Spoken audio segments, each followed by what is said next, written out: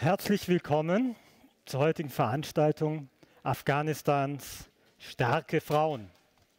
Mein Name ist Michael Fanissade und ich bin Koordinator am VEDC, zuständig dort für Migration und Entwicklung mit einem Schwerpunkt zum Nahen und Mittleren Osten.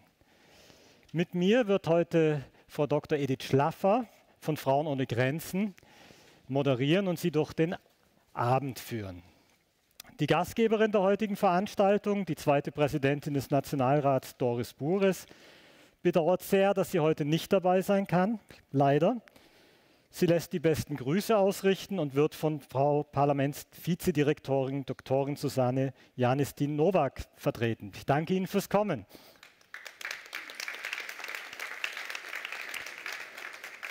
Willkommen auch im Namen des VEDCs und Women Without Border. Wir sind neben der Parlamentspräsidentin die Veranstalterinnen des heutigen Abends. Es ist mir eine besondere Freude, zahlreiche Vertreterinnen und Vertreter des Corps Diplomatique begrüßen zu dürfen. An ihrer Spitze und stellvertretend die Botschafterin der Islamischen Republik Afghanistan in Österreich, Ihre Exzellenz Manisha Bakhtari.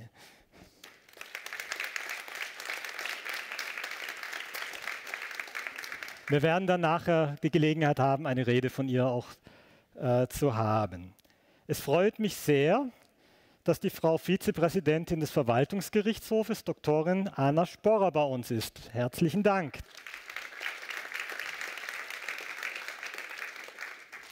Und namentlich begrüßen darf ich natürlich auch die Referentinnen, die Akteurinnen des heutigen Abends, die Direktorin des VEDC, Magister Sibylle Straubinger.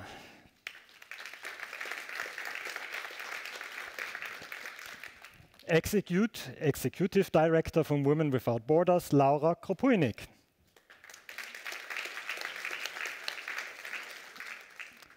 Die Direktorin der Voice of Women Organization, Soraya Paksad. Welcome, Soraya. Die Gründerin des Vereins Five Stones in Graz, Magistra Massoma Regel. Welcome. Und die afghanische Frauenrechtsaktivistin Husna Shalal. Husna, welcome. Wir freuen uns sehr auf Ihre Beiträge nachher. Herzlich willkommen möchte ich außerdem noch die anwesenden aktiven und ehemaligen Abgeordneten zum Nationalrat, die Mitglieder des Bundesrates. Ein besonderer Gruß geht natürlich an Sie, liebe Gäste, sowie die Zuseherinnen und Zuseher, die per Livestream heute zugestaltet sind. Wir haben zwei Livestreams zur Information, einen auf Deutsch, einen auf Englisch. Und das bringt mich auch dazu, darauf hinzuweisen, dass die Veranstaltung auch bei, zweisprachig durchgeführt werden will, wird. Also in Englisch und in Deutsch. Wenn Sie einen Kopfhörer für die Simultandolmetschung brauchen, wäre es jetzt eine gute Gelegenheit, sich noch einzubesorgen. Kanal 1 später ist dann für Deutsch, Kanal 2 für Englisch. Und an der Stelle möchte ich mich dann auch schon bei Gabriele Gallo und äh, Herrn Schmolz bedanken für die schwierige Arbeit des Dolmetschens. Dankeschön.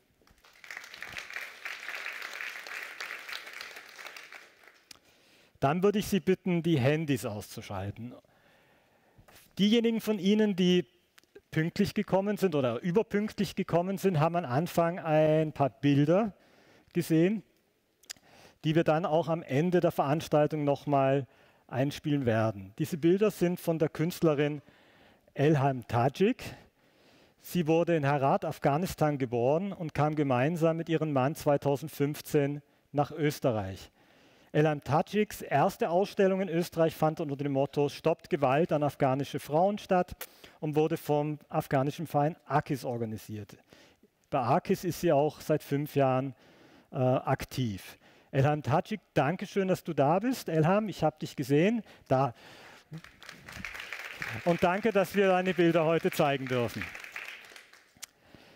Ja, Edith, ähm, jetzt darf ich an dich mal übergeben, dass du unsere erste Rednerin begrüßt genau. und vorstellst. Äh, Michael, äh, danke, Michael Fanesade, für die freundliche Einladung. Ein impressive Line-up, würde ich sagen. Es ist ganz fantastisch. Äh, dass das Parlament das, das die Plattform äh, für Sie alle hier gegeben hat, um äh, die Frauen in Afghanistan und außerhalb Afghanistans zu unterstützen. Ich möchte mich nochmals ganz herzlich bei der zweiten Präsidentin des Nationalrats zu bedanken, die leider nicht bei uns sein kann. Wir haben vor einigen Monaten hier in diesem Haus über die Situation der Frauen in Afghanistan gesprochen.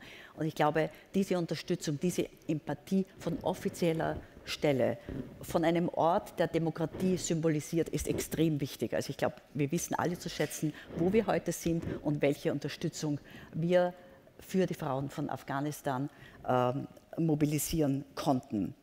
Ähm, ich möchte mich natürlich auch, Michael, beim VRDC und äh, Frau Direktor bei Ihnen für die wunderbare Kooperation bedanken. Äh, das zeigt ja auch den Spirit von Kooperation. Also zwei NGOs haben diese Organisation heute auf die Beine gestellt. Ähm, und wir machen das für ein ganz wichtiges Thema, für die Situation in Afghanistan, die uns alle etwas angeht. Es ist nicht ein, distant, ein distantes Problem in einem distanten Land. Es geht um uns alle dabei. Die Frauen in Afghanistan kämpfen jeden Tag mit Entschlossenheit für ihre Rechte, für ihre Freiheit. Etwas, was wir haben oder zu weiten Teilen haben.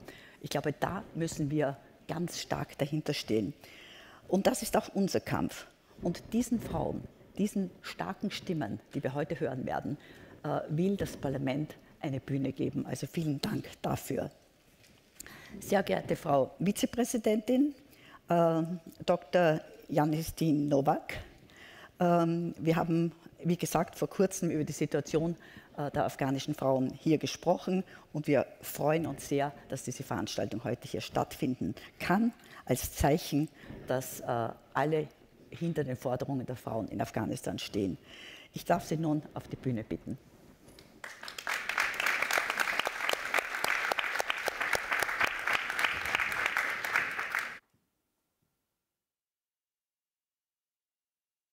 Sehr geehrte Damen und Herren, liebe Gäste, Bilder machen uns zu Augenzeugen, aber manche Bilder sagen so viel, dass sie uns darüber hinaus sprachlos machen. Das Bild vom internationalen Flughafen Kabul im August 2021 ist eines davon. Die chaotischen Zustände beim überhasteten Abzug der internationalen Truppen und die Menschen, die auf der Startbahn auf anrollende Flugzeuge klettern wollten, ließen uns fassungslos zurück. Über Nacht sind die Zukunftsperspektiven vieler Menschen, vor allem die der Frauen und Mädchen in Afghanistan, zerstört worden. Die Machtübernahme der Taliban wurde für viele die Wiederholung eines Albtraums. Die ideologischen Vorschriften der neuen Machthaber schlossen und schließen Frauen und Mädchen aus Bildungseinrichtungen, aus der Öffentlichkeit ohne Begleitung aus, unterwerfen sie strengen Bekleidungsvorschriften und bedeuten für die meisten auch den Verlust des Berufs. Diese allgegenwärtigen Einschränkungen drängen Frauen zurück ins Private, zurück unter männliche Kontrolle. Es ist der Versuch, Frauen und Mädchen durch Gesetze und Regeln und Einschüchterung Teilhabe und Selbstbestimmung zu nehmen und sie ohnmächtig zu machen. Trotz alledem gibt es sie, die mutigen, willensstarken und solidarischen Frauen, die nicht aufgeben und die durch ihr Wirken anderen Hoffnung geben. Es ist mir eine große Freude, dass wir heute drei solche Frauen hier haben, die uns ihre Geschichte erzählen, die uns daran teilhaben lassen, wie sie trotz der aktuellen Bedrängnis alles in ihrer Macht Stehende tun, und mit all ihrer Tapferkeit und Kreativität Wege gefunden haben, für Afghanistans Frauen zu kämpfen. Suraya Paksad hatte schon unter der ersten Taliban-Herrschaft Unmögliches möglich gemacht. Sie organisierte aus dem Untergrund Bildungsräume für Frauen und schuf sicheren Unterschlupf für Frauen, die aus gewalttätigen Beziehungen fliehen mussten. Nach der erneuten Machtübernahme der Taliban im August 2021 geriet sie in Lebensgefahr und sie musste fliehen. Aus dem Exil organisiert sie nun wieder sichere Zufluchtsorte für den von gewaltbetroffenen Frauen und Bildungszugänge für Frauen und Mädchen. Husna Jalal ist die Tochter der ersten und bisher einzigen weiblichen Präsidentschaftskandidatin Afghanistans. Sie gehört zu jener Generation, die im Zeitfenster der Möglichkeiten und Chancen aufgewachsen ist. Jene Möglichkeiten, die ihre Mütter für sie erkämpft haben und aufgebaut haben. Auch sie musste fliehen. Heute vernetzt und bestärkt sie Frauen in Afghanistan über ihr aus dem Exil geführtes Netzwerk Young Afghan Women Movement. Mit über 5000 jungen, ambitionierten Afghaninnen sorgt sie dafür, dass das Schicksal von Afghanistans Frauen international wahrgenommen wird. Gemeinsam arbeiten sie an ihrem Traum von einem demokratischen, geschlechtergerechten, freien Afghanistan. Ein Zitat der Schriftstellerin Nadia Hashimi, die afghanische Wurzeln hat, führt mich zur dritten Rednerin des heutigen Tages. Sie sagte, es ist nie leicht, sein Zuhause zu verlassen, besonders dann, wenn vor einem nur verschlossene Türen liegen. Masoma Regel ist jemand, die diese verschlossenen Türen aufhält und Brücken baut für Menschen, die in Österreich Fuß fassen wollen. Als Kind ist sie verletzt zur Behandlung nach Österreich gekommen. Danach kehrte sie zurück zu ihrer alleinerziehenden Mutter und ihren vier Geschwistern. Kurz darauf kehrte sie erneut nach Österreich zurück und fand hier eine zweite Heimat und eine zweite Familie. Sie weiß, was es heißt, zwischen zwei Welten zu leben.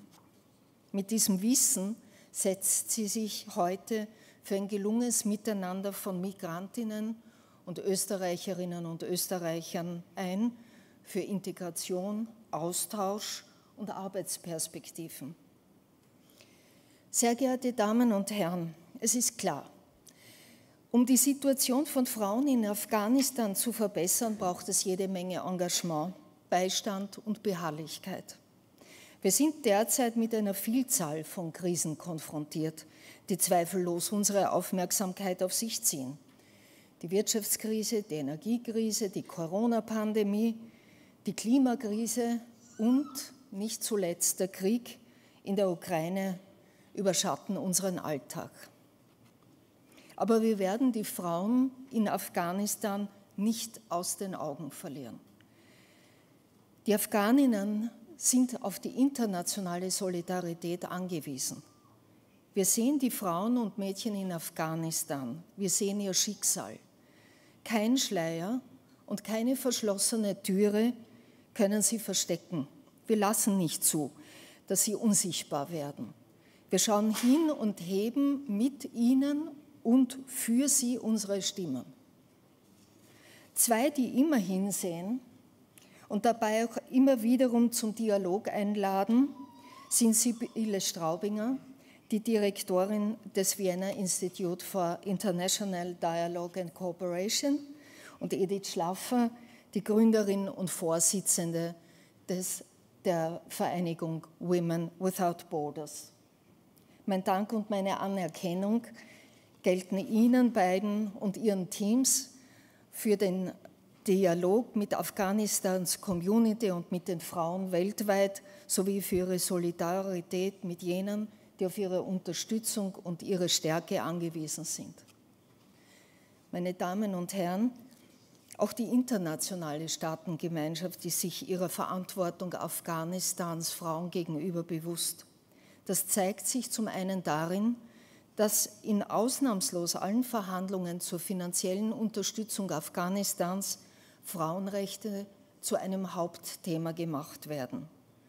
Das zeigt sich auch zum anderen darin in einer Feststellung der Resolution des Europarates vom September 2021. Der Europarat als Hüter der Menschenrechte sagt ganz klar, dass eine afghanische Regierung nur dann internationale Anerkennung erhalten und von Dauer sein wird, wenn sie die Frauen inkludiert. Der Europarat ruft die Taliban als de facto Machthaber auch dazu auf, Mädchen den Zugang zu Bildung zu ermöglichen, Frauen Bewegungsfreiheit, Zugang zur Erwerbsarbeit, Gesundheitseinrichtungen und Sport zu ermöglichen und ihre aktive Partizipation in allen öffentlichen und politischen Lebensbereichen zu fördern. Malia Sulfakar, die ehemalige afghanische Botschafterin in Deutschland, hat die Geschlechterpolitik in Afghanistan einmal als ein Pendel beschrieben, das sich seit 100 Jahren zwischen den Polen moderat und extrem hin und her schwingt. Zu schnell ist dieses Pendel nach 20 Jahren des mühsamen Aufbaus wieder in die falsche Richtung ausgeschlagen. Aber die Vergangenheit zeigt uns auch, dass das Pendel auch wieder in eine frauengerechte Position zurückschwingen kann. Genau daran arbeiten Soraya Baksad, Husna Jalal, Masoma Regel und viele andere. Sie führen uns in ihrer engagierten und mutigen Arbeit vor Augen, dass ein Leben in Freiheit und Selbstbestimmtheit nicht selbstverständlich ist. Ich denke, die folgenden Vorträge von Ihnen werden uns inspirieren und dazu beitragen, dass wir unseren Anteil daran leisten, das Pendel der Geschlechterpolitik wieder in die andere, richtige Richtung zu stoßen und auch dort wieder zu fixieren. Ich danke für Ihre Aufmerksamkeit.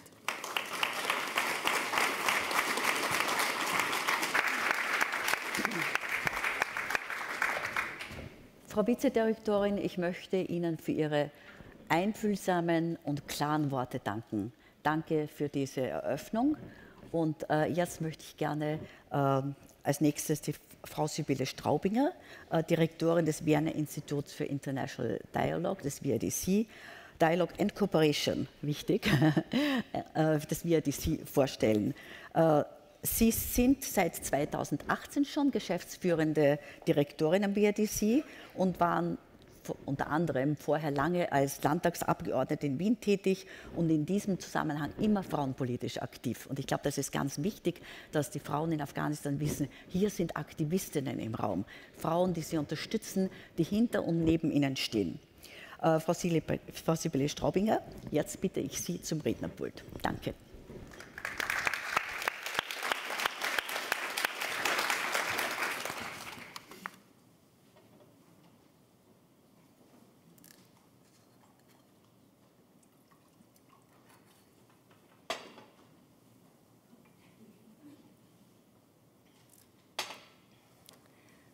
Sehr geehrte Frau Vizedirektorin, sehr geehrte Frau Botschafterin, äh, sehr geehrte Damen und Herren. Äh, ich möchte mich, äh, es ist sehr schade, dass die Frau Nationalratspräsidentin heute nicht hier sein kann, aber vielleicht kann sie ja online dabei sein. Und ich möchte mich wirklich auch für das VIDC und auch für Women Without Borders noch einmal sehr herzlich bei ihr bedanken. Denn es ist nicht selbstverständlich, ähm, dass man hinschaut, quasi wie es Frauen geht am anderen Ende der Welt. Und es ist schon gar nicht selbstverständlich, dass man nach einem Jahr, sozusagen nach dieser Machtübernahme, immer noch hinschaut, nämlich dann, wenn sich die mediale Aufmerksamkeit woanders hin verlagert hat und wenn sozusagen das auch aus diesem Fokus geraten ist. Dafür möchte ich mich wirklich sehr bedanken, äh, denn ich bin mir sicher, dass nicht nur wir, sondern dass die gesamte afghanische Diaspora in Österreich diese Einladung ins Parlament sehr zu schätzen weiß und diese Wertschätzung sozusagen auch sieht. Vielen Dank dafür. Vielen Dank äh, möchte ich auch sagen an Women Without Borders für die gute Zusammenarbeit und die in, in, bei diesen Vorbereitungen auch dieser heutigen Veranstaltung. Und Ihnen möchte ich kurz erklären, wie es dazu kommt, auch dass das VIDC heute auch Mitveranstalterin und Miteinladerin ist. Ähm, das Institut beschäftigt sich im Rahmen seines Schwerpunkts zum Nahen und Mittleren Osten seit 2014 intensiv auch mit Afghanistan. Das hat äh, begonnen damit, dass wir informieren wollten darüber, warum gerade jetzt, also 2014 und in Folge dann auch 2015, äh, es zu so vielen geflüchteten Menschen in Österreich aus Afghanistan gekommen ist. Was also denn falsch läuft in einem Land, äh, das infolge von 9-11 2001 von den USA und seinen Verbündeten von den Taliban befreit worden ist. Unser Interesse hat aber nicht nur den Geflüchteten hier äh, gegolten, sondern auch dem österreichischen Bundesheer, das nämlich in Afghanistan im Rahmen eines UN-Mandats engagiert war und als Teil sozusagen dieser Sicherheits- und Wiederaufbaumission International Security Assistance Force im Einsatz war und damit auch äh, einen Teil der Verantwortung mit übernommen hat im Land. Wir haben in der Folge zivilgesellschaftliche Intellektuelle nach Österreich, nach Wien eingeladen und einen Austausch äh, versucht in Gang zu setzen ein Austausch, der vor allem auch äh, von Anfang an mit Frauenaktivistinnen aus Afghanistan und in Afghanistan auch passiert ist. Und diese haben schon vor einigen Jahren vor einer neuerlichen Machtübernahme der Taliban gewarnt. Äh, unter anderem haben wir äh, betont, dass es keinen nachhaltigen Frieden geben kann, wenn nicht Frauen einbezogen werden in die Friedensverhandlungen zwischen den USA und den Taliban zuletzt noch im April 2021 im Rahmen eines Webinars mit der ehemaligen Abgeordneten äh, Fausia Kofi und der ersten Frauenministerin von Afghanistan, Sima Samar. Gekommen ist es dann im August 2021, äh, wie befürchtet und wie Sie alle hier auch wissen, mit der Machtübernahme hat sich auch äh, unsere Tätigkeit äh, geändert geändert, denn äh, alle Ansprechpersonen, die wir hatten aus der Wissenschaft, aus dem Journalismus, aus der Zivilgesellschaft, mussten das Land verlassen. Oder man könnte auch sagen, konnten Gott sei Dank auch das Land verlassen. Mittlerweile ist äh, sicher auch die Unterstützung der afghanischen Diaspora bei der Suche nach, einem, nach einer nachhaltigen Perspektive für Afghanistan eine zentrale Aufgabe, also nicht nur für das VIDC, sondern für alle mit der Thematik Befassten. Und ich möchte am Anfang oder am Ende meiner, meiner Einleitung auch noch einmal an den Anfang zurückkommen, äh, wo ich davon gesprochen habe, dass das mediale Scheinwerferlicht sich immer sehr schnell auf eine andere Krise richtet und derer haben wir ja aktuell genug. Ähm, ein Teil unserer Arbeit äh, ist es äh, zurzeit auch die Situation in Afghanistan nicht in Vergessenheit geraten zu lassen. Und ähm, unter anderem gibt es dafür auch eine Artikelserie auf unserer Homepage unter dem Titel Live under the Taliban äh, versuchen wir oder haben wir in den letzten Monaten Frauen und Männer aus verschiedensten Teilen Afghanistans zu Wort kommen lassen. Äh, wir wollten direkt hören und berichten, wie es ihnen geht. Und ich muss Ihnen leider sagen, es ist erschütternd, diese Berichte zu lesen.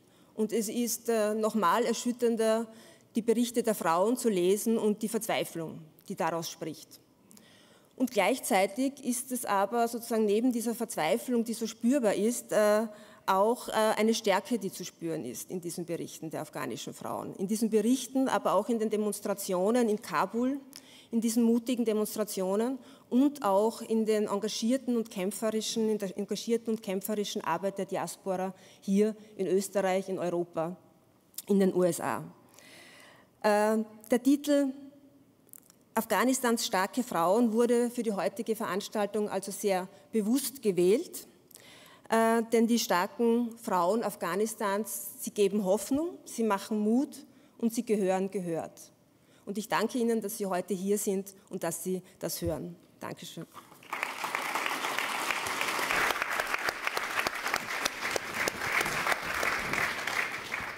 Danke, Sibylle, ähm, für die Vorstellung der, unserer Arbeit beim VEDC und ich würde jetzt äh, Frau Laura Kropinik bitten auf die Bühne. Frau Laura Kropinik leitet und entwickelt seit sieben Jahren die internationalen Projekte bei Frauen ohne Grenzen mit dem Fokus auf dem Westbalkan, Ostafrika und Südostasien. Sie ist seit 2022 die neue Executive Director von Women Without Borders Frauen ohne Grenzen ist eine international tätige Non-Profit-Organisation, die sich seit 2001 für die Beteiligung von Frauen auf allen zivilgesellschaftlichen und staatlichen Ebenen einsetzt. Mit ihrem weltweiten Netzwerk für Prävention und Bekämpfung von gewalttätigen Extremismus bietet sie Frauen eine Plattform, um eine neue Sicherheitsarchitektur mitzugestalten. Laura, ich bitte dich für deine eröffnenden Worte.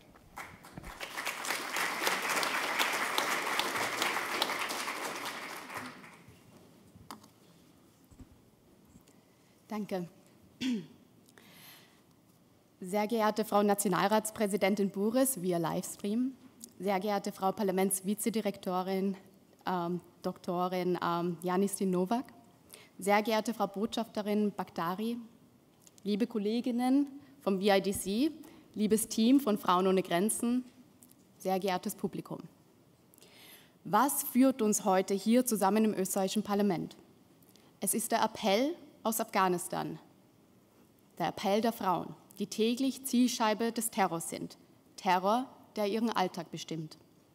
Sie sind politische Gefangene eines Systems, das ihnen einen einzigen Vorwurf macht. Sie sind Frauen. Wir wissen alle, wo wir zu 9-11 waren. Jede Frau und jeder Mann aus Afghanistan weiß, wo sie sich am 15. August 2021, den Fall von Kabul, befanden. Das war das Datum, das Hoffnung, Aufbruch und Veränderung, vor allem für Frauen, abrupt beendete. Die Frauen waren bereits in den Jahren der, des ersten Taliban-Regimes das Gesicht des Widerstands. Sie haben das soziale Leben in den Untergrund verlagert und vor allem mit ihren Netzwerken von Geheimschulen dafür gesorgt, dass die Töchter nicht zurückgelassen werden. Dann, vor 20 Jahren, stürzten die Alliierten das erste Taliban-Regime. Sie waren so das kollektive Narrativ über die frauenverachtenden Maßnahmen gestürzt. Die internationalen Truppen sind als sogenannte Befreier gekommen. Die Frauen haben das Fenster in die neue Welt entschlossen geöffnet. Sie haben sich den Weg in die Schulen und Universitäten gebahnt. Sie haben Mitbestimmung in den politischen äh, Versammlungen gefordert. Sie haben den Weg sich in die Öffentlichkeit erkämpft. Sich selbstverständlich frei zu bewegen, war ein täglicher Triumph und eine Absage an die alte Ordnung. Der Motor der Veränderung waren die Frauen. Sie haben mit weltweiter Unterstützung dazu beigetragen, ihre Gesellschaft aufzubauen. Bildung, Arbeit und das Versprechen, dass Frauenrechte synonym mit Menschenrechten sind, gab ihnen Kraft, diese neue Gesellschaftsarchitektur mit hohem Einsatz vielen Widerständen mitzugestalten. Eine globale Frauenallianz gab ihnen Rückenwind. Dann, am 15. August 2021, die internationalen Truppen hofften, einen endlosen Krieg zu beenden. Und sie taten es, unvorbereitet und überstürzt. Die Frontlinien haben sich abermals verschoben. Heute, 20 Jahre später, es herrscht weiter Krieg, Krieg gegen Frauen. Kurz war die internationale Gemeinschaft geblendet von trügerischer Hoffnung, dass die Taliban 2.0 reform reformwillig sein könnten. Jedoch das neue Afghanistan kommt im alten Outfit daher und es scheint noch schlimmer als befürchtet. Die ersten beunruhigenden Vorboten für eine rapide Rückwärtsentwicklung waren das Schulverbot für Mädchen. Denn je länger die Mädchen ein Ausbildungsverbot trifft, desto mehr Zeit gewinnen die Machthaber, um ihre Herrschaft zu zementieren der Ausschluss der Frauen aus Bildung und die Blockierung ihrer Teilhabe an der Gestaltung der Gesellschaft sind das Fundament des Emirats. So garantieren sie ihre Alleinherrschaft. Gender Apartheid, so sehen wir ganz klar, ist abermals der Pfeiler des politischen Gefüges. Gestützt von einer Flut der neuen Verordnungen, dem Gebot der Kleidervorschriften, dem Verbot, ohne männliche Begleitung zu reisen, die Liste ist lang. Vor allem die Art und Weise, in der diese Gebote und Verbote durchgesetzt werden, ist erschütternd. Sie werden mit Gewalt durchgesetzt. Die Meldungen, die uns ereilen, sind verstörend. Frauen, die es wagen, Widerstand zu leisten, werden verfolgt, verschleppt, vergewaltigt und manche zahlen dafür mit ihrem Leben. Margaret Edwards Gilead ist Realität für die Frauen in Afghanistan.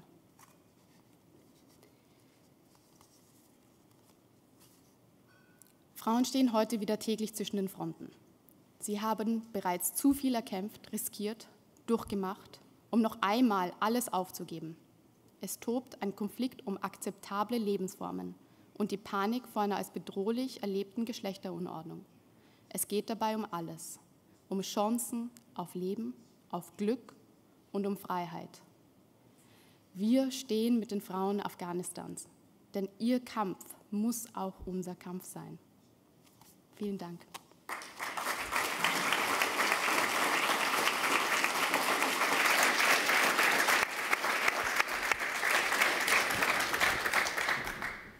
Ja, und ich möchte jetzt gerne, vielen Dank, Laura, für deine ja, starken Worte, die eine Realität, die unvorstellbar ist, widerspiegeln. Und doch Alltagsrealität für Millionen Frauen. Jetzt möchte ich äh, Frau Botschafterin Bakhtiari vorstellen. Sie ist eine der tapfersten Frauen, die ich jemals kennenlernen durfte. Und ich möchte sie so vorstellen, wie sie sich selber äh, vorgestellt haben. Ich habe das öfters gehört und gelesen, als Botschafterin der Islamischen Republik, aber nicht als Botschafterin der Taliban. Danke für diese klaren Worte.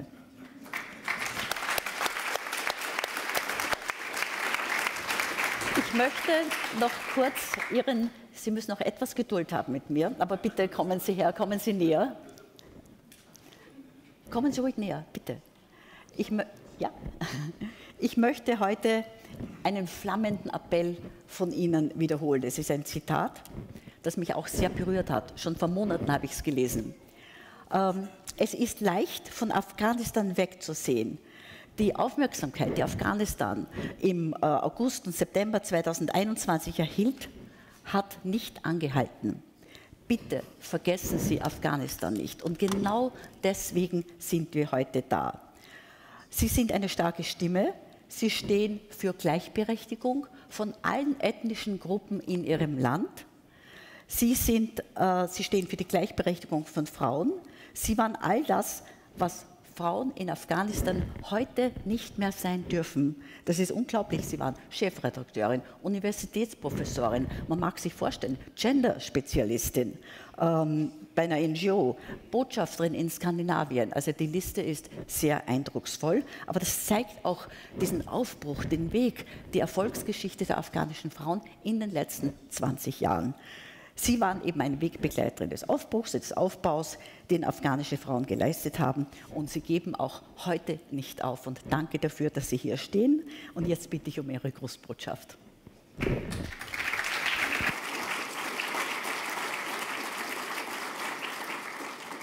I thank you. Vielen Dank, viele Frau Dr. Edith, für diese so freundlichen Worte. Ich bin sehr berührt von dieser freundlichen Einführung. Exzellenzen, werte Gäste, liebe Afghaninnen und Afghanen, meine Damen und Herren, zu Beginn möchte ich mich bei der zweiten Nationalratspräsidentin Doris Bures bedanken, auch wenn sie nicht hier sein kann, und auch bei Dr. Janistin Novak für die Organisation dieser Veranstaltung in Zusammenarbeit mit dem Wiener Institut für internationalen Dialog und Zusammenarbeit und Frauen ohne Grenzen. Ich bin wirklich sehr dankbar für diesen Schwerpunkt und die Unterstützung, die Sie den Frauen in Afghanistan und auf der ganzen Welt in dieser Zeit der Not zukommen lassen. Nach mehr als einem Jahr der Besetzung waren die Taliban nicht in der Lage, eine repräsentative und zur Rechenschaft verpflichtete Regierung zu bilden, die die Achtung der Rechte aller Afghaninnen und Afghanen, insbesondere von Frauen und Mädchen, gewährleistet und den humanitären und wirtschaftlichen Bedürfnissen der Bevölkerung gerecht wird. Leider haben nicht alle afghanischen Frauen und Mädchen die gleichen Chancen wie andere Frauen in der Welt. Seit dem 15. August 2021 sind Afghaninnen nach wie vor geschlechterspezifischer Diskriminierung, Segregation, Apartheid und Gewalt sowie anderen Einschränkungen ihrer grundlegenden Menschenrechte ausgesetzt. Die frauenfeindliche Haltung der Taliban gehört zum Alltag. Frauen wird der Schulbesuch verwehrt, Frauen wird es verwehrt zu arbeiten und Frauen müssen sich strengen Bekleidungsvorschriften unterwerfen. Afghanistan ist zum ersten Land weltweit geworden, in dem es eine geschlechterabhängige Beschränkung der Schulbildung gibt. Die Besetzung Afghanistans durch die Taliban hat Auswirkungen auf alle Afghaninnen und Afghanen, insbesondere aber auf Frauen und Mädchen. Afghaninnen sehen, wie ihre Rechte vor ihren Augen verschwinden. Diese Gruppierung hat wieder drakonische Maßnahmen und Vorschriften erlassen, die Mädchen den Besuch einer weiterführenden Schule verbieten und Frauen und Mädchen systematisch aus dem öffentlichen Leben ausradieren, indem sie ihre Grundrechte auf Arbeit und eine aktive Rolle in der Gesellschaft beschneiden. Im vergangenen Jahr haben Hunderte von Afghaninnen sowohl in Afghanistan als auch im weltweiten Exil für ihre Rechte demonstriert und gegen die Taliban-Herrschaft protestiert. In Afghanistan wurden den Demonstrantinnen mit Gewalt begegnet. Frauen wurden angegriffen, geschlagen, ausgepeitscht und beschossen. Vor drei Tagen wurde ein Mädchenbildungszentrum angegriffen. 51 jungen Mädchen aus der Hazara-Volksgruppe wurden sofort umgebracht und über Hunderte wurden schwer verletzt. Das ist Frauenfeindlichkeit und Völkermord gegen unsere Hazara. Ich bitte um eine Minute, um eine Schweigeminute für die, die den letzten Preis für Bildung zu zahlen hatten.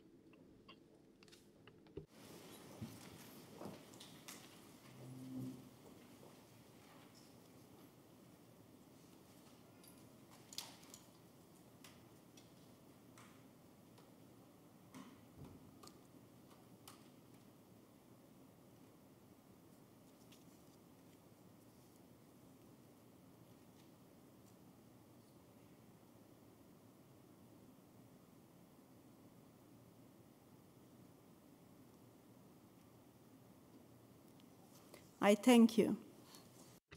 Ich danke Ihnen.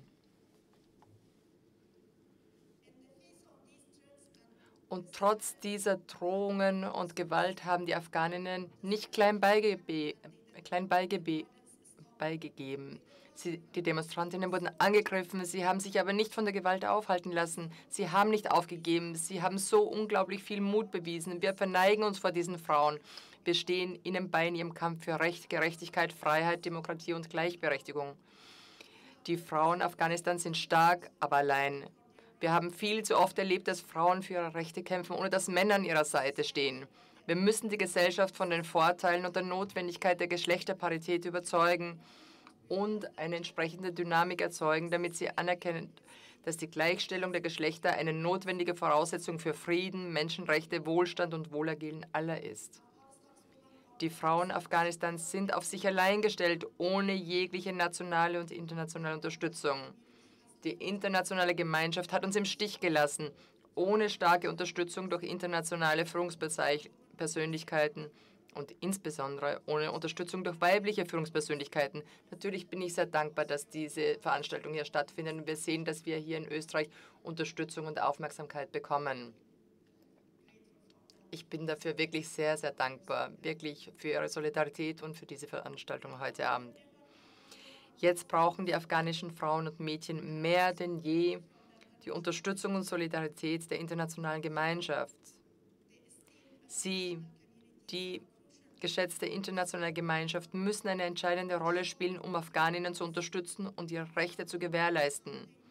Die afghanischen Frauen zählen auf sie, wenn es um die Wahrung ihrer Rechte geht. Wir müssen Plattformen mobilisieren und unsere globalen Netzwerke zur Unterstützung der Rechte afghanischer Frauen nutzen. Die Rechte der Frauen müssen geschützt und verteidigt werden. Die Frauenrechten sind Menschenrechte und Menschenrechte sind für alle. Vielen Dank.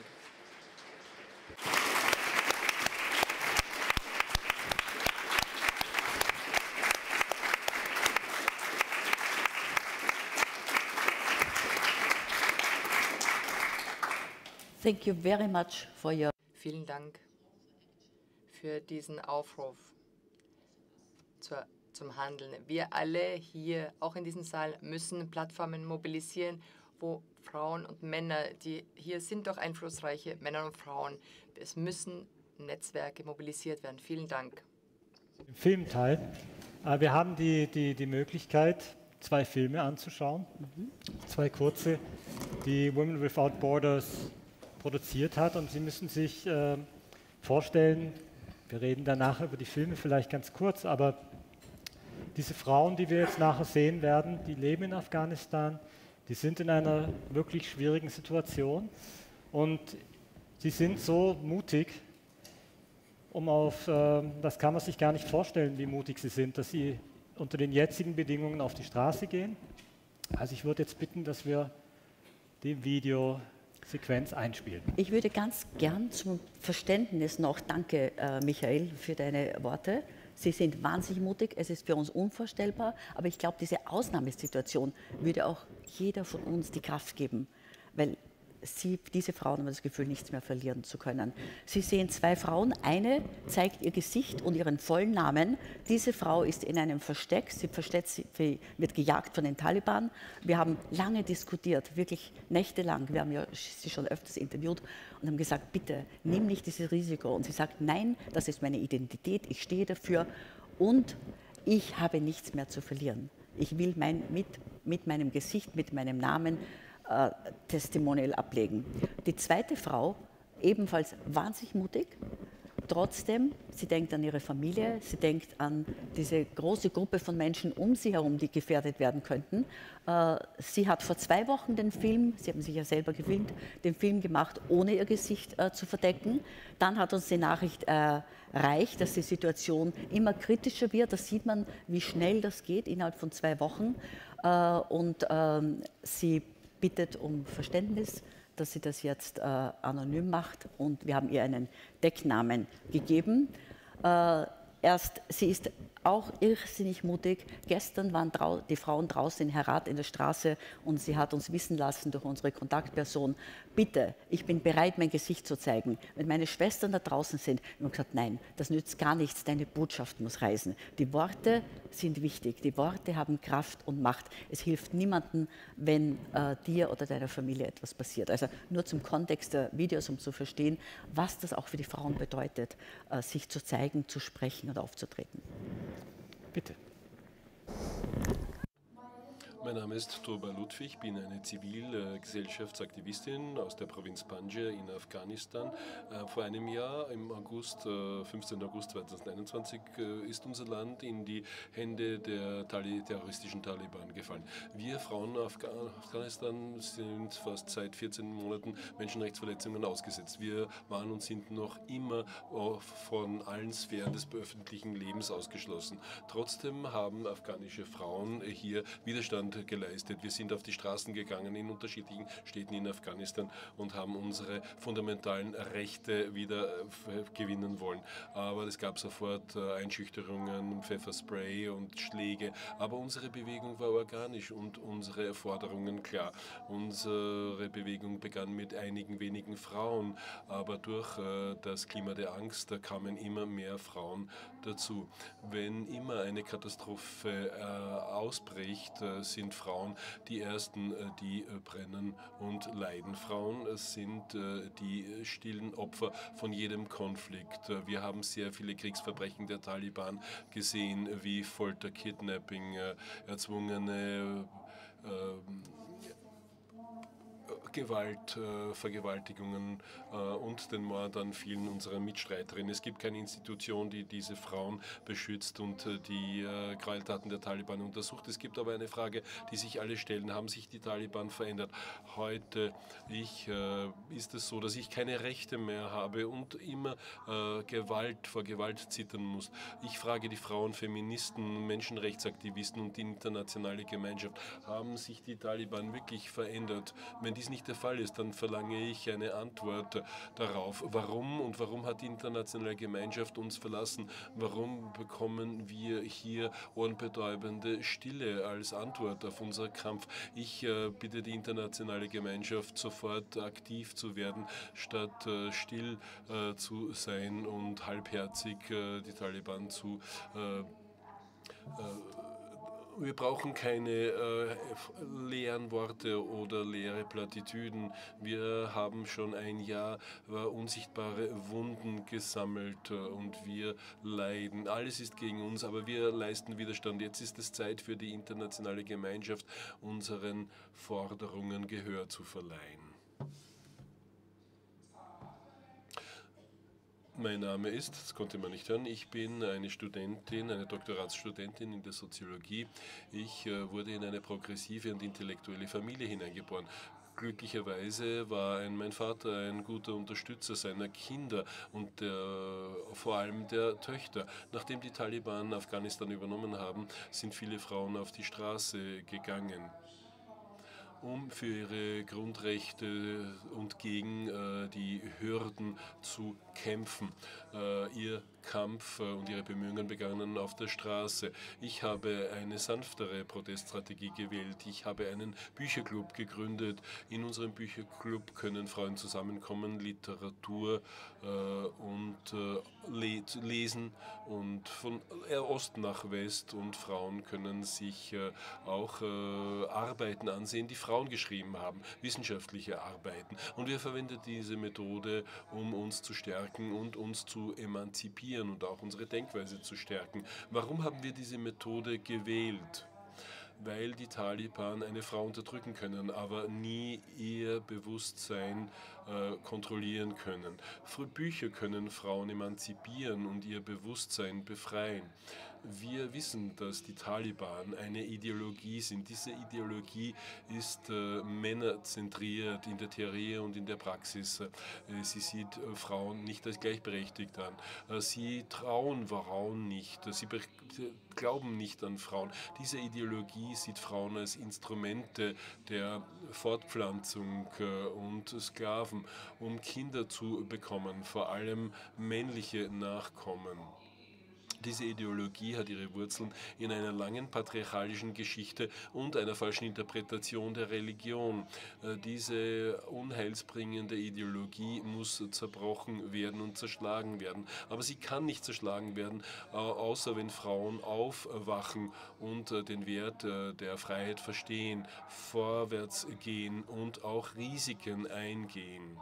Wir haben diese Risiken akzeptiert und als ersten Schritt wollen wir den Frauen helfen, ein Bewusstsein zu entwickeln, sodass sie nicht äh, in Humiliation äh, glauben, in Herabwürdigung und so, dass sie auch mentale Kraft bekommen, so dass sie niemand unterdrücken kann und dass sie äh, auch äh, sehr viel Informationen bekommen können und auch Wahrheiten. Und unsere kurze Botschaft an die Welt, vor allem an die Frauen, ist folgende. In einer Situation, wo fast 16 Millionen Frauen äh, in einer Ecke der Welt äh, gefangen gehalten werden, haben andere Frauen wenig getan. Äh, sie haben wahrscheinlich meistens nur ihre Stimmen erhoben, aber nur das. Das ist äh, ein Verrat äh, an unserem Geschlecht. Dieser Verrat äh, kann von der, äh, von der Geschichte, von den nicht gelöscht werden. Bitte seid euch im Klaren. Äh, dass äh, die Welt sie richten wird, die freien Frauen, die in Freiheit leben und in Gefangenschaft lebenden Frauen in Gefangenschaft belassen haben. So, diese Frauen stehen für viele Frauen und sie sind, denke ich, die unsichtbaren, nicht registrierten politischen Gefangenen des Taliban-Systems. Und ihre Isolationshaft, die Dauer ihrer Isolation ist unabsehbar. Und das ist jetzt auch unsere Aufgabe, darüber weiterzusprechen. Aber bevor wir das tun, finde ich einen Applaus den beiden Frauen, das ist wertvoll.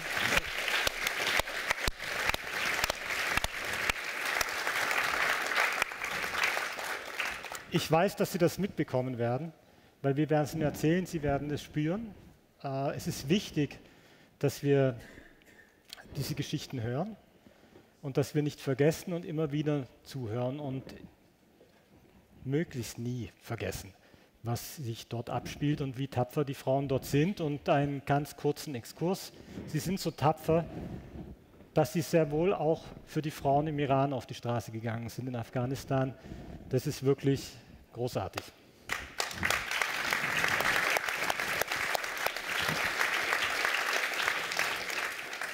Jetzt möchte ich aber eine dieser großartigen Frauen begrüßen, die wir hier bei uns haben, Soraya Paksat. Soraya war schon einmal bei uns in Wien. Damals waren bessere Zeiten, glücklichere Zeiten. Auch damals war es schon prekär, war es schon schwierig. Aber sie konnte ihre Arbeit mit ihrer Organisation in Herat noch immer durchführen. Mit Schwierigkeiten, mit Problemen, aber es ging. Soraya Paksat ist eine Frauenrechtsaktivistin, wir haben schon ein bisschen was von ihr vorhin gehört bei der Eröffnungsrede.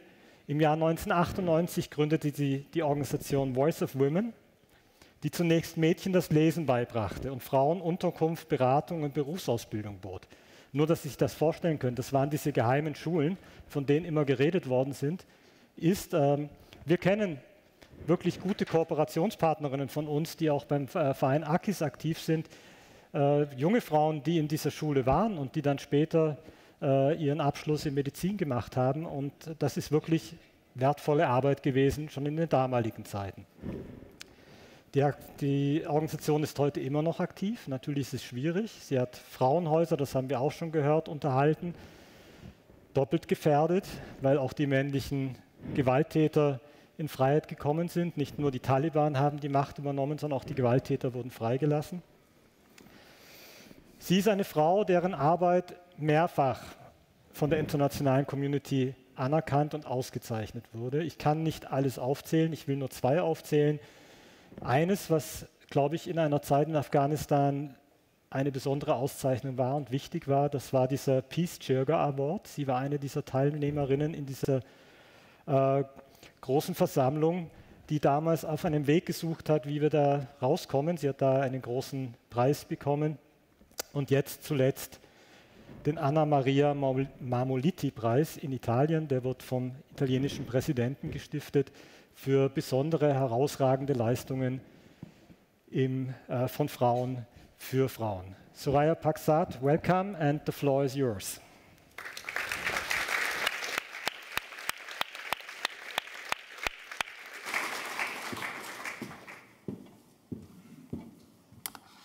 Thank you so Vielen Dank, Michael. Exzellenzen, meine Damen und Herren, einen guten Nachmittag. Bevor ich mit meinem Vortrag beginne, möchte ich allen Familien, die ihre geliebten Angehörigen bei diesem terroristischen Angriff am letzten Freitag verloren haben, meine mein Beileid ausdrücken. Das ist ein völkermörderischer Angriff und ein Angriff auf das Leben. Meine Gedanken sind bei den Opfern und ihren Familien. Ich glaube, jeder und jede in diesem Saal weiß und hat eine Vorstellung davon, was mit Frauen und Mädchen in Afghanistan gerade passiert. Aber was noch offensichtlicher und besorgniserregender ist, ist, dass die jahrzehntelangen Fortschritte bei der Gleichstellung der Geschlechter und Demokratie ausradiert wurden und die Rechte von Frauen und Mädchen wurden fast vollständig abgebaut. Das in dieser wirtschaftlichen Krise.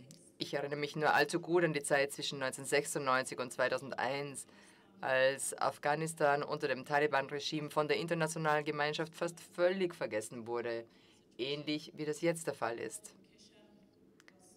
Die Bildung von Mädchen war damals vollständig verboten und ich sah mich damals gezwungen, meiner moralischen Verantwortung nachzukommen, nämlich afghanische Mädchen auszubilden. Und ich habe bei mir zu Hause eine Untergrundschule gegründet, natürlich ständig in der Angst, erwischt und bestraft zu werden. Und dann 1998 habe ich die Organisation Voice of Women, Stimme der Frauen, gegründet mit dem Auftrag, Frauen und Mädchen zu beschützen, zu unterstützen und zu ermächtigen.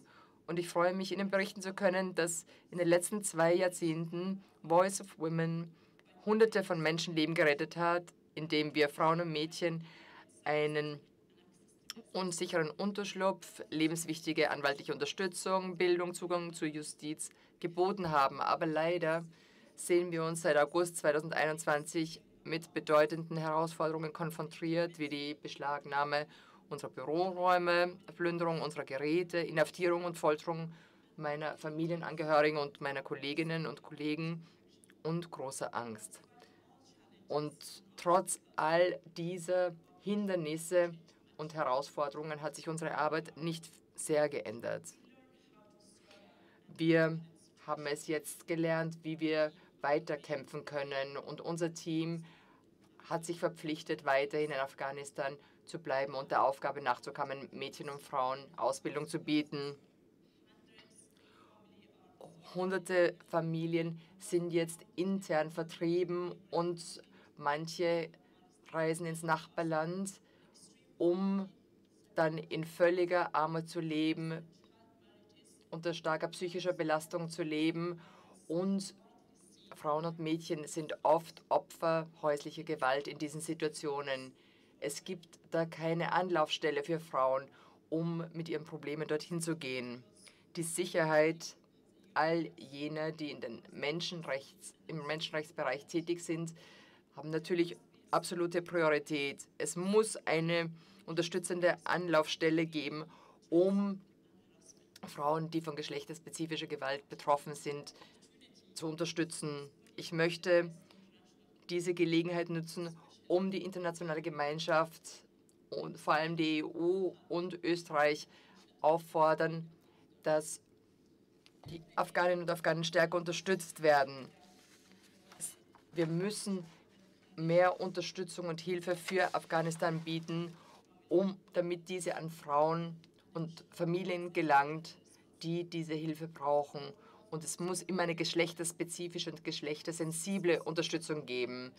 Und wir dürfen hier nicht übersehen, dass wir ständig Unterstützung, Finanzierung für die Aktivitäten der verschiedensten Organisationen brauchen in verschiedenen Bereichen Afghanistans. Wir brauchen ständige Finanzierung für Frauenorganisationen, damit sie weiterhin tätig sein können. Bitte setzen Sie Ihre Macht ein, um die afghanische, auf die afghanische Regierung Druck auszuüben damit die Frauenrechte geachtet werden und Frauen mit einbezogen werden. Und in allen Verhandlungen mit dem Taliban-Regime soll darauf gedrängt werden, dass Frauen Teil der Delegation sein müssen. Die politische Teilhabe von Frauen darf nicht außen vor gelassen werden. Ich danke, dass ich hier sein darf. Vor allem danke ich für die Einladung und seit der zweiten Nationalratspräsidentin Doris Bures gemeinsam mit Frauen ohne Grenzen und auch danke für die führende Rolle des VDC und für die hervorragende Arbeit und dass wir so eine solide Platt, dass sie so eine solide Plattform sind, um über die aktuelle Situation der afghanischen Frauen zu diskutieren und sie ins Blickfeld der derzeit schweigenden Welt zu bringen denn wir brauchen diese Unterstützung, diese politische Unterstützung. Lassen Sie uns daran gemeinsam arbeiten, um die Welt zu einem besseren Ort für alle zu machen. Gleichberechtigung ist die Seele von Freiheit und Selbstständigkeit. Vielen Dank.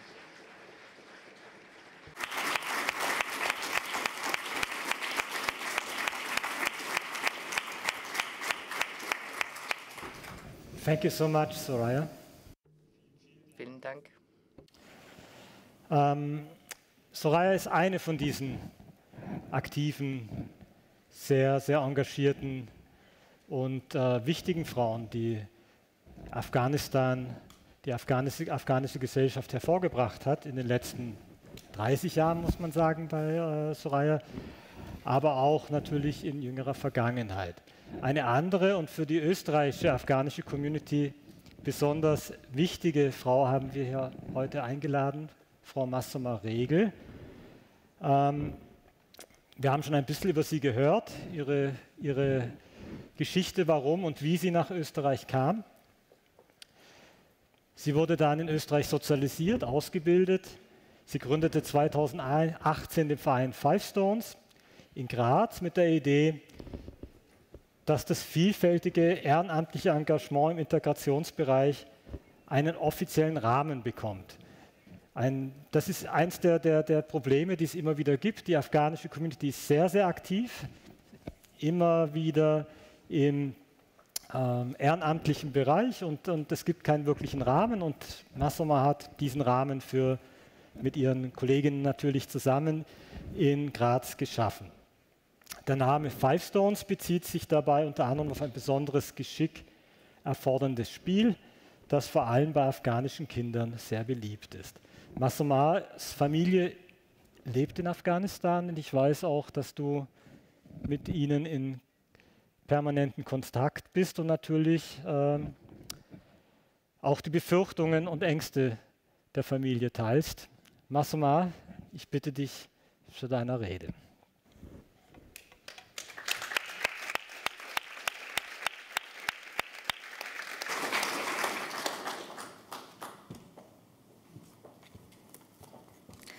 Danke für die Vorstellung, Michael. Meine Damen und Herren, vielen Dank für die Organisation dieser Veranstaltung. Ich kann leider nicht ganz so positiv und voller Elan starten, weil das Thema einfach wahnsinnig schwierig und schwer ist. Es lastet auf den Schultern und es fällt schwer, Lobeshymnen auf starke Frauen hier zu sprechen. Es fällt schwer, sich als starke Frau feiern zu lassen und ich möchte auch damit beginnen, dass ich keinen Applaus als starke Frau brauche heute.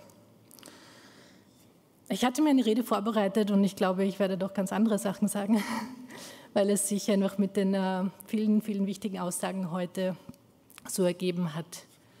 Es wurde ja schon äh, gesagt, dass ich als Kind, als kriegsverletztes Kind in Österreich aufgenommen wurde und alleine durch meine Herkunft bin ich zwar jetzt eine Österreicherin, aber habe immer, immer dieses schwere Erbe, das alle Afghanen haben, auf mir, nämlich jahrhundertelange Armut, jahrzehntelange Kriege, Schwierigkeiten, immer wieder verlassen werden, Hoffnung, die aufkeimt und sofort im Keim erstickt wird, Verbesserungen der Situation, um nur noch danach schlimmer zu werden. Viele, viele Afghanen, die auch äh, Gott sei Dank irgendwann es geschafft haben, ins äh, sichere Ausland zu fliehen, die es vielleicht auch geschafft haben, bleiben zu können, sind einerseits froh darüber, natürlich über die Chance, ein Leben in Sicherheit leben zu können, voller Chancen, haben aber immer damit zu kämpfen, diese zwei Welten, so wie ich, auch in sich zu tragen. Zum einen ist die Verantwortung für die Herkunft, für die Familie da. Zum anderen muss man sich in einer Leistungsgesellschaft wie in Österreich natürlich auch behaupten und das erfordert auch sehr viel Kraft und Energie. Es ist eine Welt, die zerbrochen ist und es ist die andere Welt, die uns nicht haben will.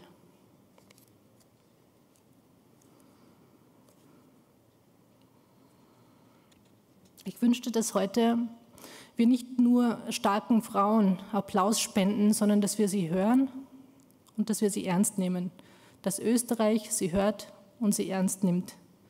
Seit einem Jahr bin ich in einem Medienmarathon, nämlich seit, dem, seit der Machtübernahme der Taliban. Ich habe viele Interviews gegeben in Zeitungen, in Fernsehen, in allen österreichischen Medien. Ich habe bei vielen Veranstaltungen gesprochen. Ich bin froh natürlich, dass Interesse besteht, dass sich Menschen die Zeit nehmen, zuzuhören aber ich bin frustriert darüber, dass in Österreich nichts passiert ist. Ich kann nicht hier stehen und den starken Frauen applaudieren, während ich keiner einzigen gefährdeten Person helfen möchte. Niemand ist in Österreich aufgenommen worden. Es ist wahnsinnig schwer, in Österreich Asyl zu bekommen. Zum Zeitpunkt der Taliban-Machtübernahme wurde von gewissen Parteien noch darüber gesprochen, wie wir die Afghanen noch abschieben könnten, wie es danach noch möglich sein wird.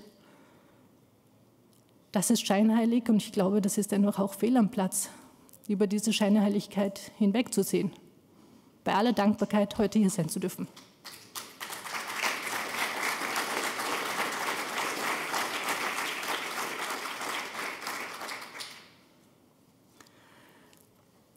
Ein Jahr lang in Österreich für Afghanen zu sprechen, ist kräfteraubend, in meiner Stimme vor einem Jahr war noch viel Panik. Es war aber auch immer dieser Kampfgeist da, etwas erreichen zu können. Nach einem Jahr nun muss ich versuchen, die Frustration nicht so sehr mir anerkennen, mir anerkennen zu lassen. Ich muss versuchen, nicht zynisch zu werden und das kostet Kraft. Als Hauptgrund sagt Österreich immer, wir haben eine der größten afghanischen Communities in Österreich bereits. Wir haben 45.000 Menschen hier. Ja, 45.000 Menschen, Menschen sind dankbar, hier sein zu dürfen. Aber mit dieser Aussage und mit diesen Gesetzen und mit dieser Vorgangsweise sind es auch 45.000 Menschen, denen Österreich klipp und klar sagt, eure Sorgen interessieren uns nicht. Wir reden uns den Mund wund indem wir sagen, unsere Familienmitglieder leben noch dort, diese und jene Menschen sind in Gefahr. Wir zeigen Videos von Frauen, die sich verstecken müssen. Und dann, dennoch sagt Österreich, eure Ängste sind uns egal mit der Politik, die gemacht wird.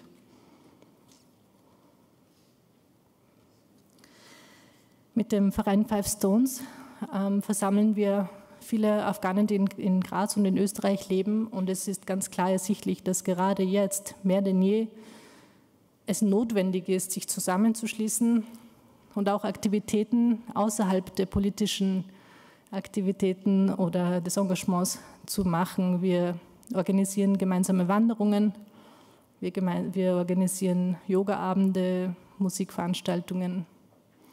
All das, um sich abzulenken, um etwas aus dieser Schwere herauszunehmen, die auf uns lastet, um zu zeigen, dass wir füreinander zumindest da sein können oder einander verstehen können, zumindest. Denn niemand sonst versteht es, dass das Thema der starken Frauen, das Thema der unterdrückten Frauen, das Thema des Krieges und der Armut und des Hungers nicht einfach theoretische Themen sind, die man einer, bei einem Abend vorstellen kann. Es ist nichts, worüber man einen Artikel schreibt und vielleicht dafür bezahlt bekommt. Es ist unser Leben. Es bestimmt jede Minute unseres Lebens. Und es macht einfach das, den Alltag wahnsinnig schwierig in einem noch so reichen Land. Ja, wir sind in Wohlstand hier, wir wissen es zu schätzen, aber wir können es nicht genießen. Was würde es über uns sagen, wenn wir, die eigentlich diese zwei Welten kennen, hierher kommen und die eine Welt vergessen? Wenn wir hier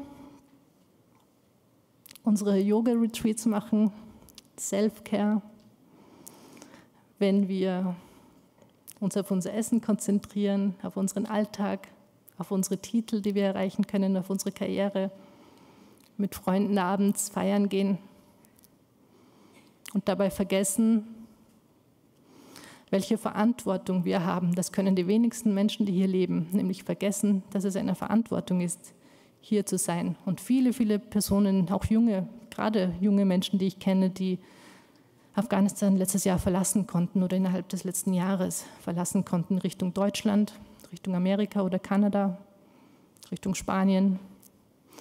All diese Menschen sagen mir, wenn ich ihnen schreibe und mich darüber freue, dass sie es rausgeschafft haben, sie sagen, was soll ich damit anfangen? Wie, was soll ich in Sicherheit leben, wenn meine Familie es nicht kann?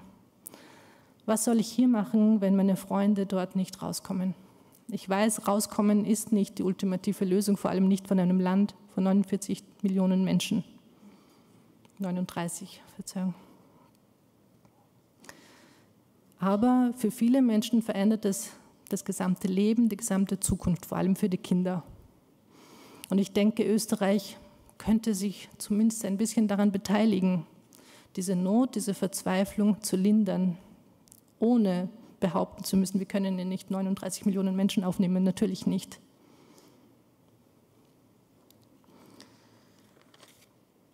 Ich will, dass die Forderungen, die auch von ähm, verschiedenen Organisationen gestellt wurden und auch natürlich von vielen Einzelpersonen, dass zum Beispiel die extrem restriktiven Bestimmungen zu Familienzusammenführungen in Österreich erweitert werden, dass zur Kernfamilie mehr als nur der Mann oder die Ehefrau dazu gehört oder die eigenen Kinder.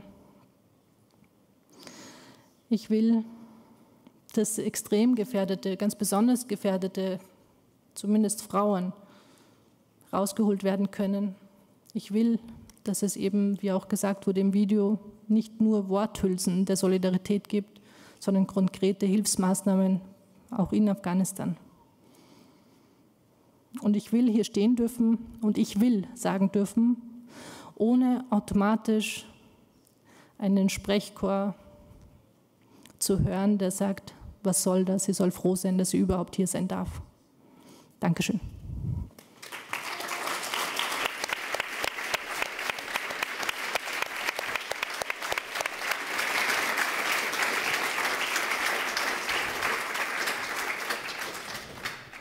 Danke, Massoma. Als nächste Diskussionsteilnehmerin und wir machen das jetzt in Form einer Diskussion, möchte ich Ihnen gerne Husna Jalal vorstellen. Husna Jalal hat einen sehr soliden akademischen Hintergrund. Ich möchte gar nicht in Details gehen. Sie hat wahnsinnig viel erarbeitet, erreicht. Äh, aber sie ist auch, und das ist ganz wichtig, seit ihrer frühesten Jugend, eigentlich fast seit Kindesbeinen an, äh, Peace and Security Activist.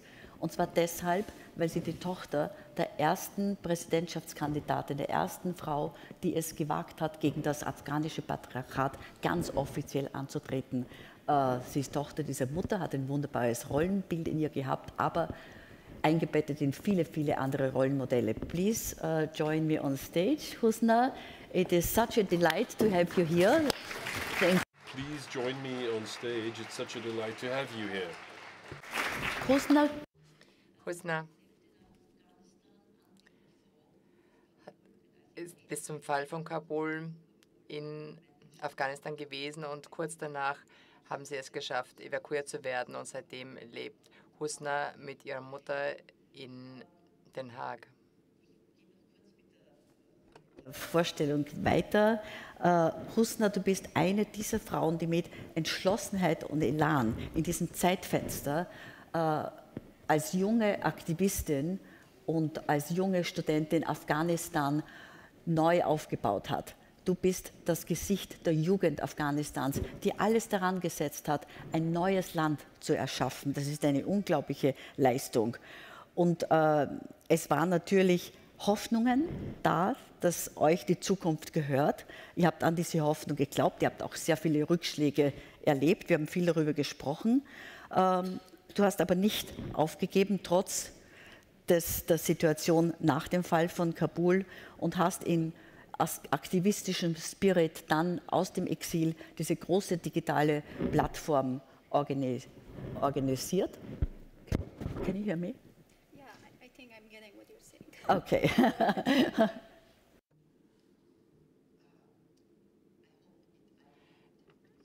ich hoffe, dass die, dass die, die ich hatte gehofft, dass das auch gedolmetscht wird, beziehungsweise sie das Dolmetschgerät bei sich hat. Also ich habe eigentlich nur erzählt, wie, wie mutig, wie tapfer sie sind und dass sie Teil dieses Wandels im, im Landes sind, dass sie auch jetzt aus dem Exil mit ihren Mitstreiterinnen und Mitstreitern aus dem Exil kämpfen.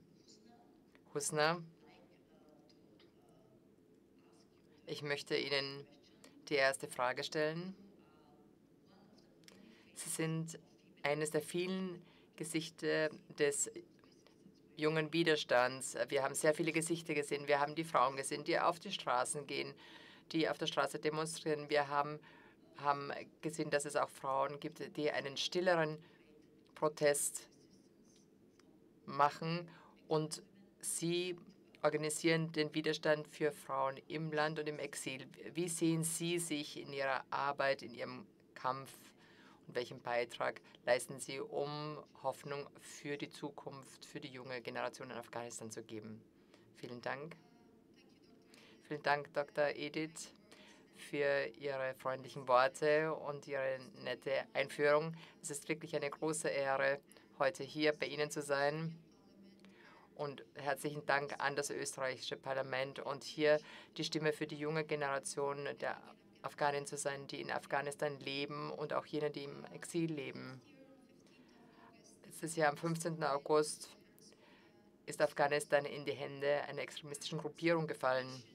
Und als Nation haben wir alle Errungenschaften verloren, aber als Frauen haben wir unsere Grundrechte verloren.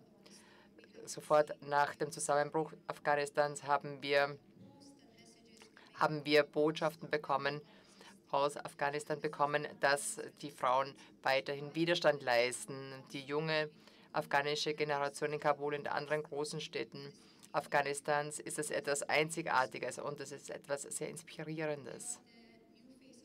Sie sind die neuen Gesichter Afghanistans. Sie führen den Widerstand an, den gewaltfreien Widerstand. Als die Taliban an die Macht kamen, das Erste, was sie machten, war, dass sie die Mädchenschulen geschlossen haben und sie haben die weiterführende Bildung von Mädchen verboten. Sie wollen nicht, dass Frauen eine Bildung bekommen. Und sie möchten, dass die jetzige Generation Analphabeten sind und keine Bildung haben. Sie möchten, dass wir schweigen. Sie möchten nicht, dass wir irgendetwas sagen. Sie möchten nicht, dass wir wissen, was in Afghanistan passiert. Aber, aber was sie nicht wissen, ist, dass die derzeitige Generation, vor allem meine Generation, die nachdem die internationale Gemeinschaft in unserem Land war, dass wir eine privilegierte Generation sind. Wir werden nicht aufgeben. Wir werden unser Land nicht aufgeben. Das ist unser Land und wir werden alles tun, was es braucht. Das ist wirklich eine sehr starke Botschaft in Afghanistan und auch an die Frauen im Exil, dass sie gemeinsam mobilisieren und dass sie das aufbauen, was verloren gegangen ist. Ja, natürlich. Es ist sehr schwierig, aus dieser privilegierten Situation zu sprechen. Ich sitze hier in Wien und dann über jene zu sprechen, die jeden Tag einen Kampf leisten in Afghanistan. Aber wir setzen uns nicht einfach hin und tun nichts. Wir tun unser Bestes, um zu sensibilisieren und über die Gräueltaten im Land zu informieren und zu berichten. Frauen leisten Widerstand mit ihren Stimmen, mit, mit, ihren, mit ihren Schreibstiften und auch auf den Straßen von Afghanistan. Ihr stärkstes Widerstandswerkzeug ist Bildung, Mädchen und Frauen wieder in die Schulen zu bringen und sie zu ermächtigen über Wissen. Und wir haben von einer der Frauen hier gehört, dass die Macht des Wissens etwas ist, was Frauen weiterbringen wird. Und das ist ja die große Angst des derzeitigen Regimes, dass Frauen zu mächtig werden. Und Sie haben etwas erwähnt. Ja, ja, natürlich. Wenn Frauen gebildet werden, dann bildet man die gesamte, dann erhält die gesamte Gesellschaft eine Bildung und ist gebildet. Aber sie möchten keine gebildeten Frauen. Sie möchten keine starken und Frauen, die selbst die Stimme erheben. Das Erste, was sie taten, als sie in die Macht kamen, war, dass sie ankündigten, dass Mädchen nicht in die Schule kommen sollten. Das war ganz strategisch, ganz klug gedacht, aber was mir ein bisschen den, die Hoffnung nimmt und auch mich hilflos zurücklässt, ist, dass seit einem Jahr die internationale Gemeinschaft und die zivilgesellschaftlichen Organisationen und unsere feministischen Schwestern außerhalb von Afghanistan einfach nur zusehen und abwarten, wann sich die Situation wieder ändern würde. Aber seit einem Jahr können die Mädchen und Frauen nicht in die Schule gehen und die Situation wird noch schlimmer. Und ich glaube, dass ihre Bemühungen, damit Mädchen zusammenkommen, damit sie ihre Stimme erheben können, damit Netzwerke ge gebaut werden, das ist doch von größter Wichtigkeit. Also sie, sie versuchen, die Mädchen zu ermächtigen, die, die dann in der Lage sein werden, sich an die internationale Gemeinschaft zu wenden und an diese zu appellieren.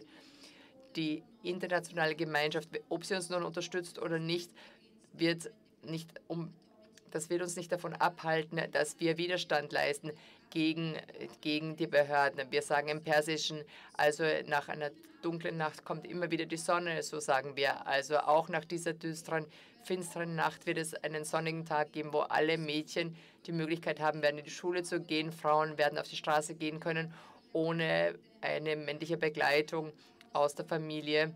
Und wir Frauen in Afghanistan, wir arbeiten daran, wir setzen uns dafür ein und wir kämpfen dafür. Sie haben von einem friedlichen Widerstand, gewaltfreien Widerstand gesprochen. Das ist natürlich der Weg, den man verfolgen muss.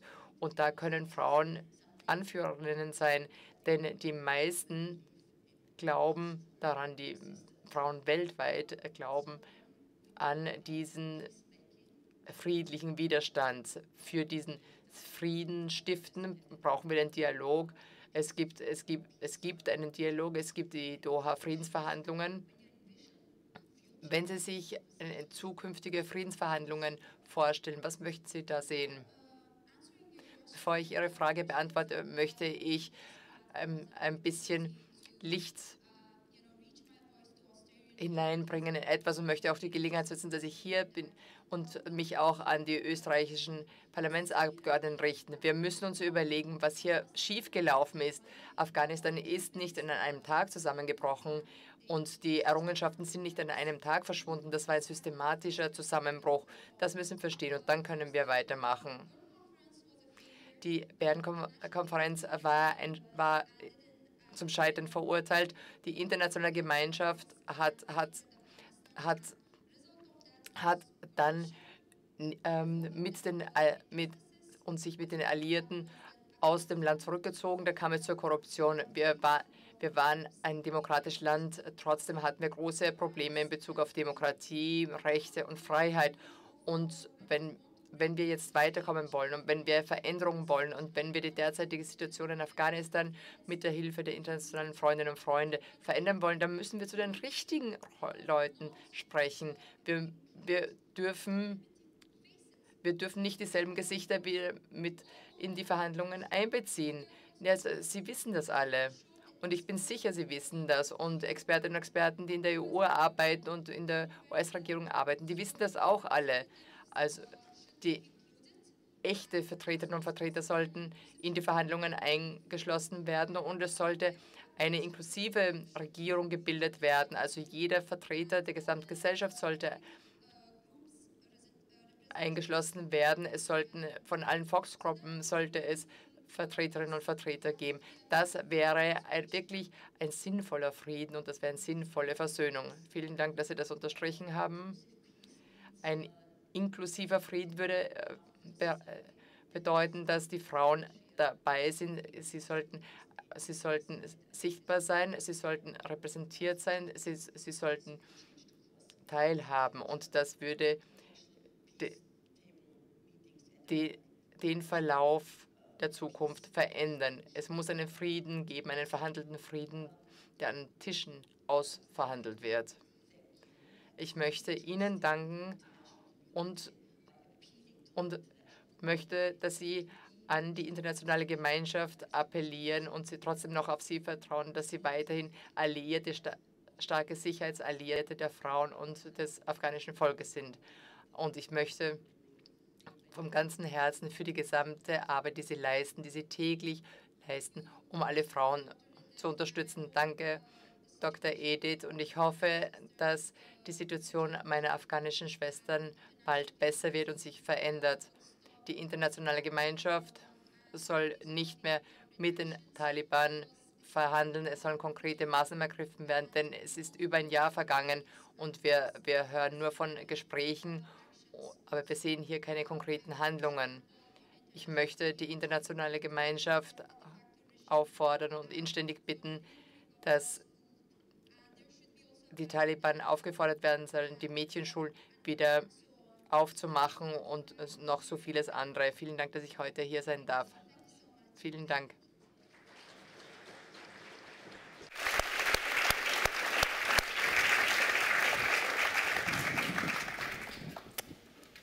Vielen herzlichen Dank an alle drei Sprecherinnen. Nochmal einen großen Applaus.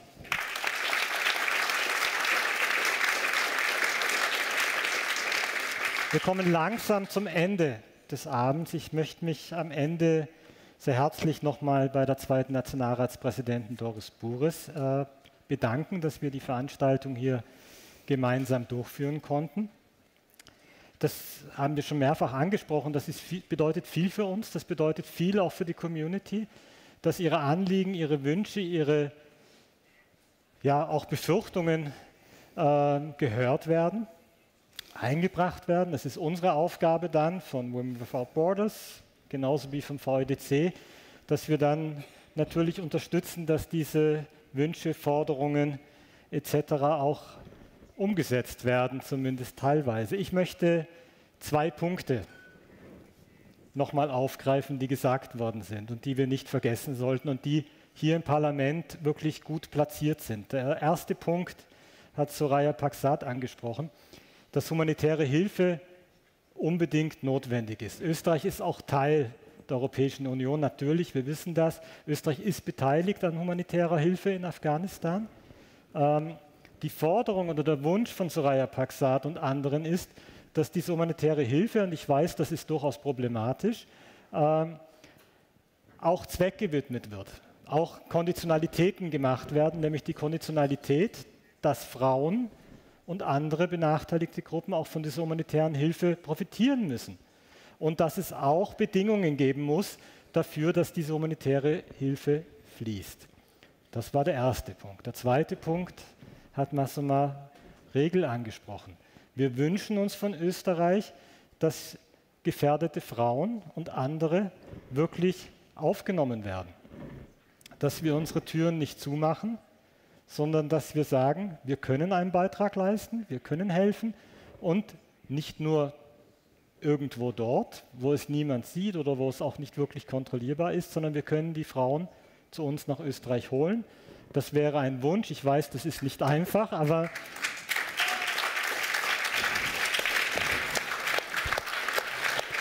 das würden wir uns wünschen. Und natürlich ähm, bleiben wir in Dialog mit den engagierten jungen Frauen in Afghanistan. Am Ende möchte ich mich jetzt noch sehr herzlich bedanken bei ein äh, paar Personen, ohne denen wir diese Veranstaltung heute hätten hier nicht durchführen können, die uns tatkräftig unterstützt haben. Da möchte ich nennen die Juliette Bendele vom Büro der Nationalratspräsidentin. Dankeschön.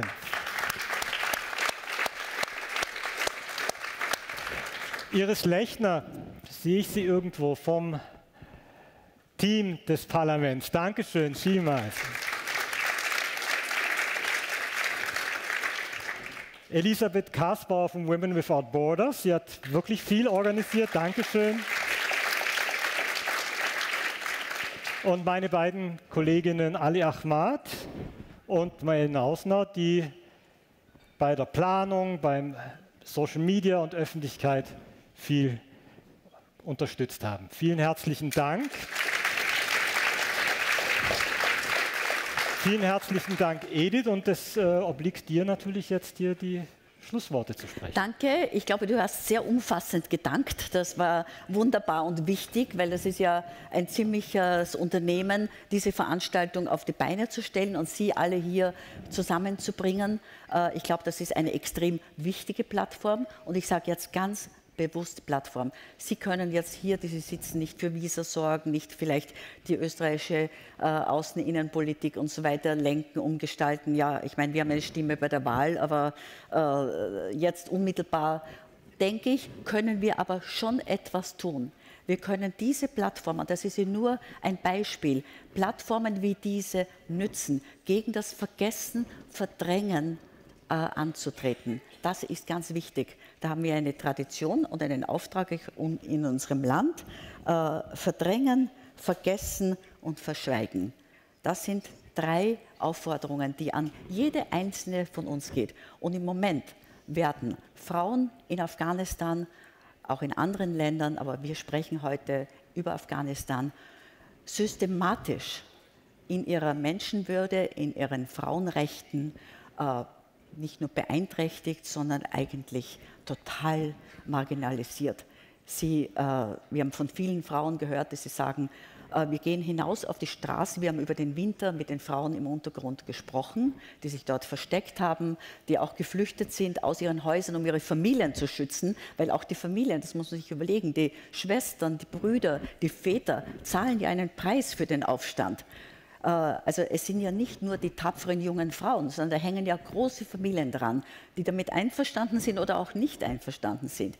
Und viele von ihnen haben in unseren äh, spätabendlichen äh, Gesprächen gesagt, besser ich sterbe nicht zu Hause, sondern draußen auf der Straße, wo ich einen Unterschied gemacht habe und wo meine Aktion gesehen wurde und wo ich mich den Taliban aktiv gegenübergestellt habe.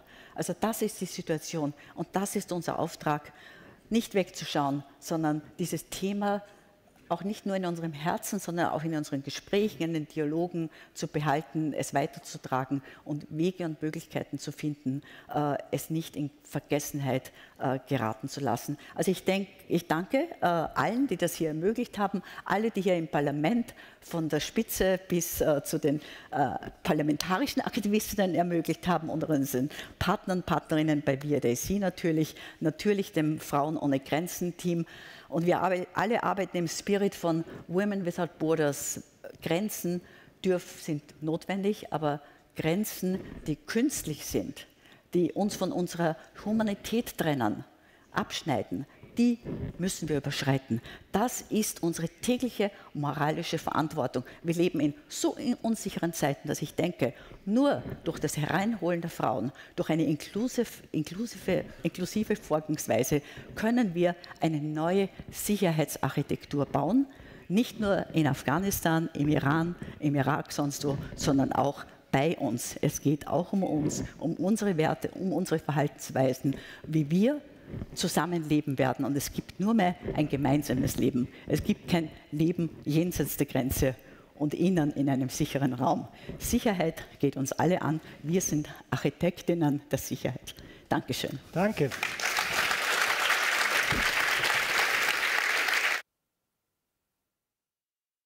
Als Edith jetzt vergessen hat, ähm, darf ich Sie noch auf ein Glas äh, zum Trinken einladen und danke, eine Kleinigkeit danke. zum Essen. Und wir werden im Anschluss noch einmal die Bilder von Elheim Tajik äh, im Stream haben. Die würde ich jetzt bitten, dass wir die noch mal einspielen. Die können wir uns dann, während wir uns noch unterhalten und austauschen, noch mal anschauen. Danke Ihnen. Schönen Abend.